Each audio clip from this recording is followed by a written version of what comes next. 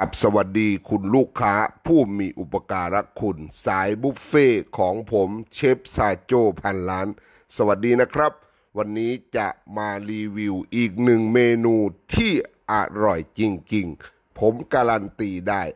ปกติเรากินปลาแซลมอนจะกินเป็นซาซิมิซูชิ หรือมากิธรรมดา หรือย่างหรือทอดอะไรก็แล้วแต่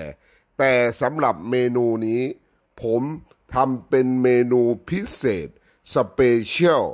นำปลาแซลมอนมาสับนะครับ สับให้ละเอียดนะครับ เรียบร้อยแล้วก็สไลด์หอมคุกเข้าไปผสมกันนะครับ แล้วก็เติมด้วยซอส spicy ซอส spicy ตัวนี้จะมีรสชาติเผ็ด หวานเปรี้ยวมันนะครับ เราจะนำมาทำเป็นมากินะครับ ผมทำทานแล้วมันอร่อยมากๆ ถูกปากคนไทยอย่างเราเราๆมันคือซลมอนเนญิมากินะครับทำแบบนี้แหละครับ ใส่ข้าวลงแผ่นสาหร่ายเรียบร้อยแล้วนำปลาแซลมอนที่สับปรุงรสเรียบร้อยแล้ว มาม้วนเป็นมากิออกมา มันอร่อยจริงๆครับ ถ้าใคร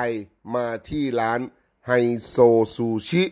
หรืออาลุอิทูทองหล่อ อยู่ในบุฟเฟ่ที่ทองหล่อ 641 บาท 799 บาท ก็สั่งทานได้ มาที่ไฮโซซูชิบุฟเฟต์หัวพันหกร้อยบาทเหลือพันเจ็ดสิบบาทก็สั่งทานได้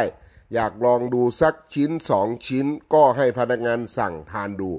ความอร่อยของมันสับใส่แบบนี้อร่อยแล้วนะครับ ดูดูน้องจัดจานให้แบบนี้เรียบร้อยแล้วเนงิเอามา on top อีก บอกลูกค้าเลยว่าดูใน TikTok ของเชฟซาโจคนพันล้านแบบนี้ แล้วสั่งน้องน้องจะรู้เลยว่ามันอร่อยทำแบบนี้รสชาติดีแล้วก็เติมซอสเข้าไปอีกทีหนึ่ง ใส่มายองเนสนิดหนึ่งนะครับ รสชาติกลมกล่อม ใส่ไข่ กุ้งเข้าไปอีก โรยหอมเข้าไปอีก โอ้โห คุณลูกค้าซาโจอยากให้ลองทานกันดูนะครับว่า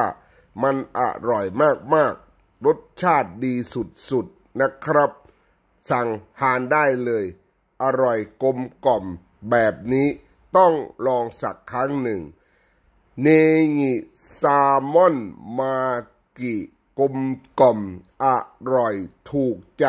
แน่นอนสำหรับคนที่ชอบ